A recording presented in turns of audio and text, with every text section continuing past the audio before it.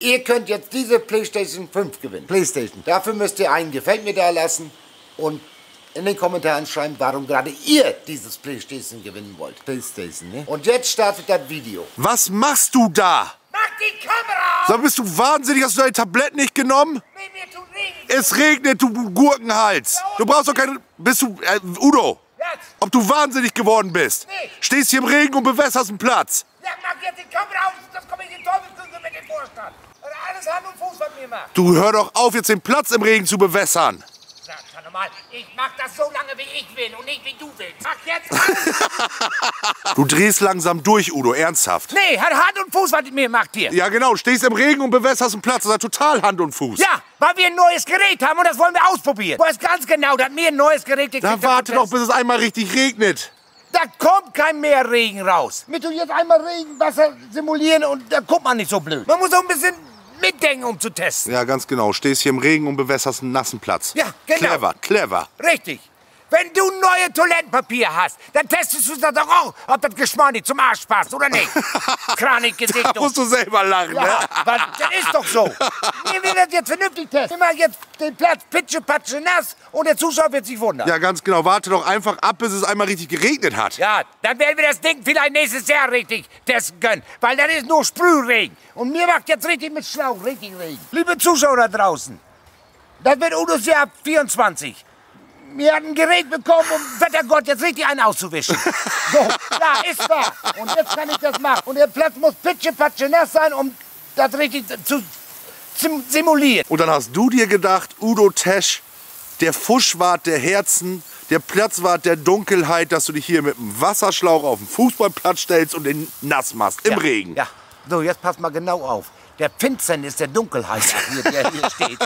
Der hat, da steht auf der Beschreibung. Warum, Und warte, das- warte, wa- warum hinterfrage ich eigentlich überhaupt noch irgendwann bei dir? Das brauchst du nicht, weil ich setz mich durch. Kommst ja auf den Fußballplatz, steht hier mit dem Schlauch im Regen und macht den Platz nass. Ja, weil wir das Ding testen wollen. Und ich will das wirklich testen unter schwerwiegenden Regenguss. Dir ist klar, dass du das Gerät noch zusammenbauen musst. Ja, natürlich weiß ich das.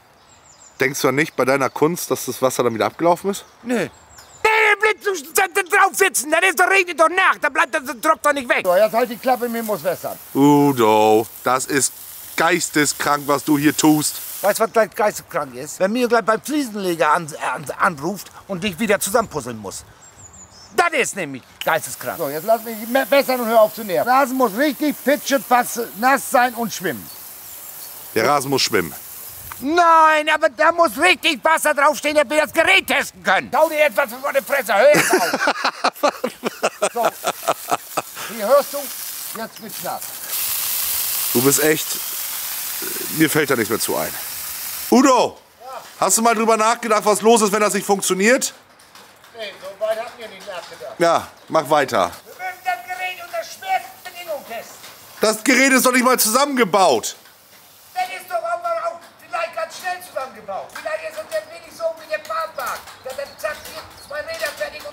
Der wird langsam wahnsinnig, Leute. Ich weiß nicht. Irgendwie hat er seine Tabletten heute Morgen nicht bekommen oder hat die irgendwie vertauscht oder. Ich weiß es nicht. Schön hier hinten, Lester.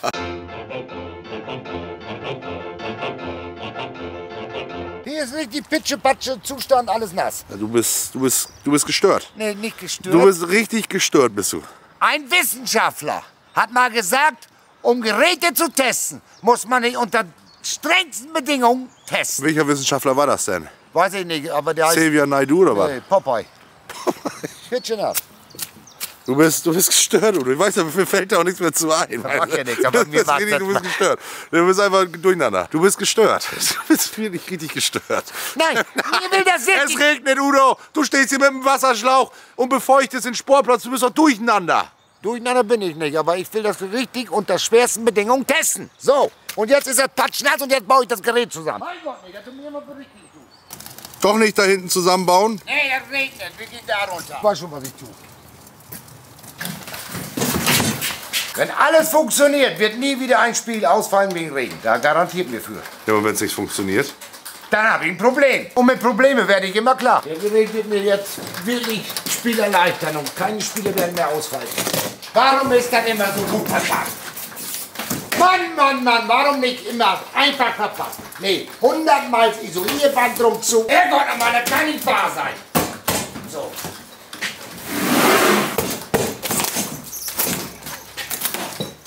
Den haben wir in zwei Minuten zusammengebaut. Ja? Ja. Ja. Ehrlich, da kannst du die Uhr nachstellen.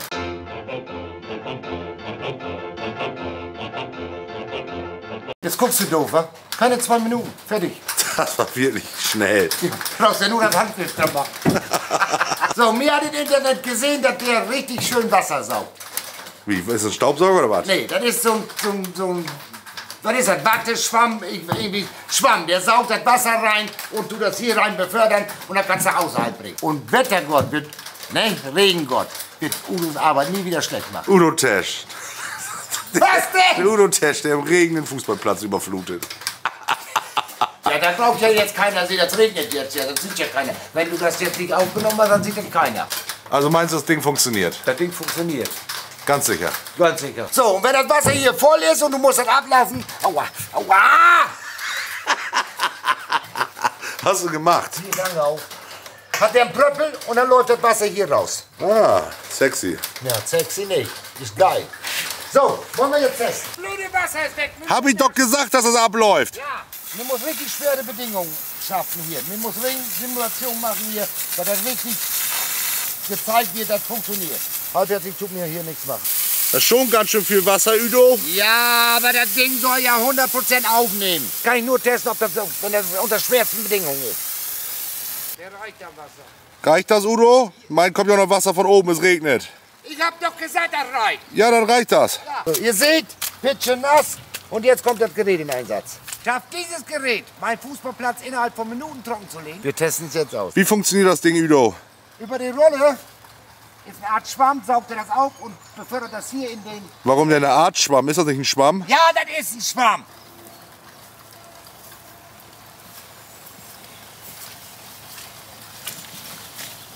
Erste Bahn, nix Wasser. Wie nix Wasser. Ja, noch nichts drin. Hä? Mir muss einstellen. Die Rolle muss doch da dran, dass er das rausquetscht. Ja, wieso stellst du das denn nicht ein? Ja, habe ich ja vorher nicht gewusst. So, mach's ihn fester. Er muss das ja rausquetschen. So.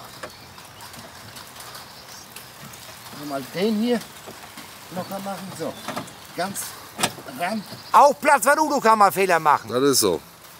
Mach's öfter mal ein, aber ist egal. Ja, ja. Ah! Alter. Wer will mir noch aufhalten?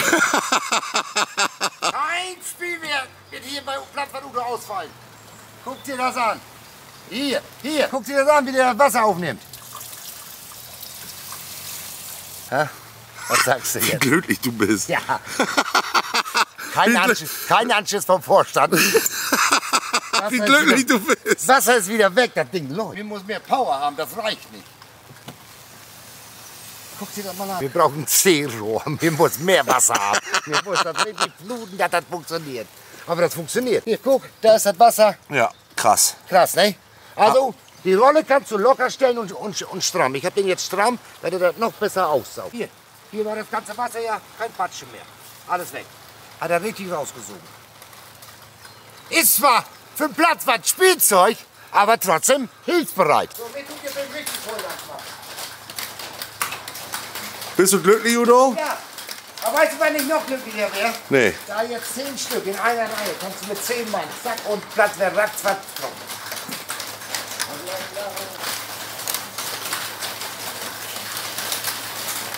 Müssen unter schwersten Bedingungen testen. Man weiß ja nie, ob das wirklich so ist, was, äh, äh, was der verspricht. Guck dir die Pfütze an, da sagt der Schiedsrichter gleich Ärger.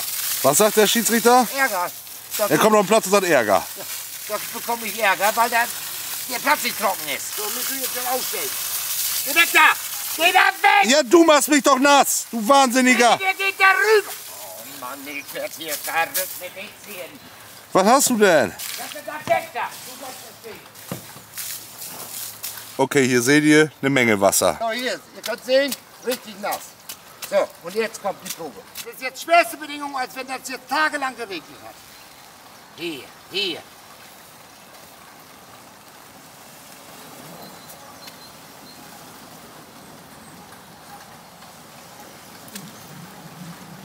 Alter, heftig. Ja.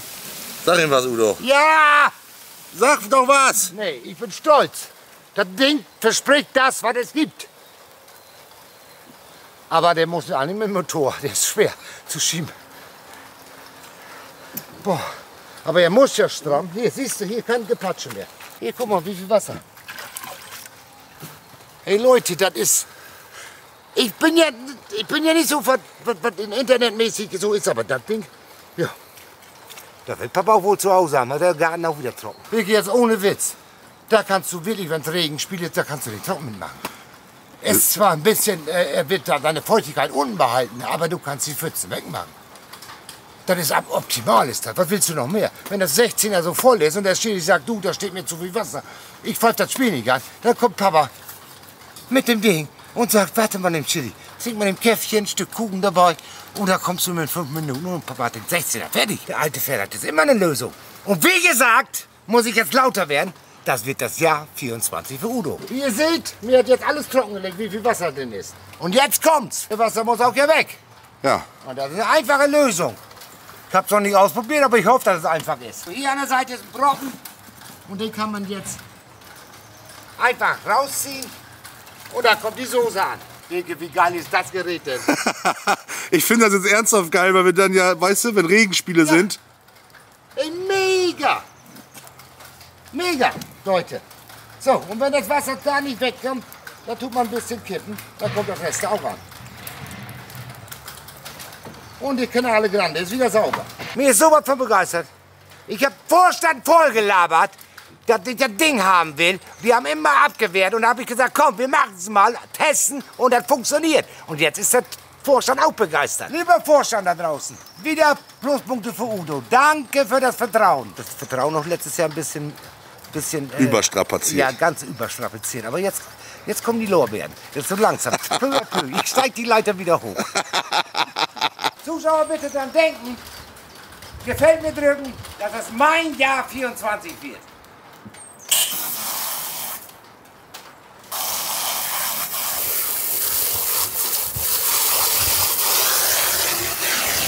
Du hast gesagt, mir hat Tabletten vergessen zu nehmen. Du stehst im Regen mit einem Wasserschlauch und machst einen Platz nass. Ja, weil wir wollten das ja richtig unter extremen Bedingungen. Habe ich immer zu dir gesagt, wenn wir sowas holen, muss der Verein auch ja, der Vorstand ja sagen, okay, das Ding ist wirklich wirkungsvoll. Aber bei so ein bisschen Regen ist er nicht wirkungsvoll. Also heißt das, richtig nass machen und testen, ob der das beweist, was er da rein schreibt. Brauchst du auch keine Unterhosen, die nicht passen. Du hast hier gestern was verpasst. Warum? Udo stand hier mit einem Wasserschlauch im Regen. Mir tut Regen simulieren. Ich weiß genau, wie Regen kommt. Wieso? Der ihr stand hier wirklich im Regen und sagte, mir tut Regen simulieren. Weil er den Platz unter Wasser setzen wollte, um sein neues Gerät zu testen. Was hat er denn für ein neues Gerät gekriegt? So diese olle Wasserwalze. Ach so, wo du Wasser mal vom Platz saugen kannst. Ja. Ja. Bienchen, mich kann heute Nacht nicht kuscheln mit dich. Mich muss morgen auf dem Platz Regen simulieren. Mir kann heute nicht auf Bärenfeld raus. ich muss Regen auf dem Platz machen.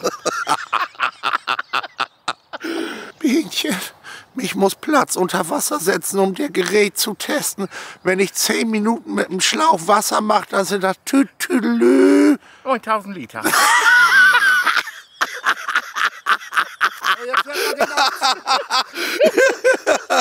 So ein Gerät muss getestet werden, Warum bist du so sauer? weil ihr nur am Das hat gestern gegallert den ganzen Nachmittag. Äh. Aber es stand keine Pfützen auf dem Platz. Da stehen sonst auch nicht Pfützen auf dem Platz, oder Nee, wir haben hier schon ein Schwimmbad gehabt. Da gibt es auch ein Videomaterial drüber. Jetzt, so musst du den testen. Hast du einen an der Waffel oder Ja, was? mehr Wasser steht da sonst auch nicht drauf. Ich kann den wohl auf deinen Kopf testen. Das ist genauso nass da wie, wie auf dem Rasen. Ihr habt doch einen an der Waffel. Hallo, Herr Wasserwerk. Mich war das nicht mit recht. Schalten die Pumpens an. Ihr braucht ganz viel Wasser. JJ, warum bist du hier? weil Udo gestern Abend bei deiner Mutter um 11 Uhr angerufen hat, der die aus dem Bett geholt. Udo? Jetzt ist gerade die Zeit gekommen, wo du jetzt gerade eine Zahn-OP hast, aber ohne Narkose. Was rufst du denn abends um elf bei meiner Mutter an? Warte, ich, wollte noch einen Kaffee trinken. Du gehst auch ja mal morgens um 6 Uhr, schreibst du ja schon, wir wollen Kaffee trinken. Ja, aber ich rufe meine Mutter nicht morgen äh, abends um 11 an. Weiß Bienchen, dass du meine Bienchen Mutter saß daneben. Bienchen, das tut nicht so aussehen, wie wie es ist. Mir hat keine Affären. Mit Wilkes Mutter? Es geht um Sportplatzen. Bienchen, mich muss eben bei Wilkes Mutter anrufen. Mir hat keine Affären. Es geht um Sportplätzen. Mich tut nicht mit Wilkes Mutter telefonieren, Bienchen. Das sieht nicht so aus. Wir telefonieren gleich mit der Staatsanwaltschaft, weil ich einen Doppelmord begangen habe. Ich hau euch gleich ungespitzt in den Boden. Und dann weißt du, da gehen nur noch die Füße hin und her. Da könnt ihr bei beide hingucken mit euren Bienchen, Bienchen. Das ist jetzt auch nicht Phase, Udo. Warum soll ich hierher kommen? Phase ist, dass du gleich mit dem Kopf im Boden bist und die Füße bisschen Was machen wir denn jetzt? Die Netze abmachen. Netzen. Netzen, Mehrzahl. Sind ja mehrere. Wollt ihr mich jetzt hier komplett durcheinander bringen oder was? So, komm, auf geht's. Jan-Jürgen, weil du ja schon mal hier bist, wo ich ja angeblich wieder angerufen habe, kannst du die Leiter schon mal aufstellen. Dokoli, Dokoli, Udo. So, mir hat neues Werkzeug gekauft heute Morgen. Äh, Herrlich. herrlich, ne? Dann haben wir das immer äh, griffbereit. Kannst du nach vorne biegen, wenn es geht. So, zack, zack, hier, so. Siehst du? Zack. Und jetzt haben wir alles hier. Mir ist kalt, ich hole mir eine Jacke noch. Bienchen, bei Mijatovic anrufen. Mir hat gefrierbrannt am Moor. Und auf Trottés Schlüpfer. Nanu, Bienchen, wieso tut mir denn so zittern? So, Leute, wer das jetzt zum ersten Mal anschaltet, könnt ihr gucken. Wir müssen jetzt den Fußballkäfig fertig machen. Wir haben in den letzten Videos viel vergeigt, was nicht passt. Aber wir machen es jetzt richtig. Wir wissen ja jetzt, wo die Netze hin müssen und dann wird es wohl was werden. So, wir machen die ganzen Netze jetzt schon weg, weil wir verkehrt gehangen haben. Wir müssen jetzt, das Netz muss über das Tor, weil das genau ausgeschnitten ist. Und jetzt machen wir die Netze ganz schnell runter.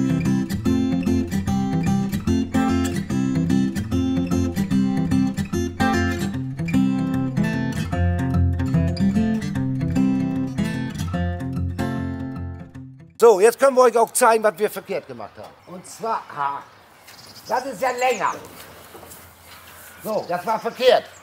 Und jetzt zeigen wir euch, wie wir es jetzt umgehängt haben. Das haben wir vorher nicht gewusst. Wir haben hier zwei Netze mit Einsparung. Da kommt das Tor rein und dann passt das. Ja, und das wussten wir vorher nicht, weil wir Trottel sind. weil wir das vorher nicht ausgebreitet haben und haben geguckt, was wir für Netze haben und so was. Aber jetzt wissen wir es ja, jetzt sind wir auf dem richtigen Weg.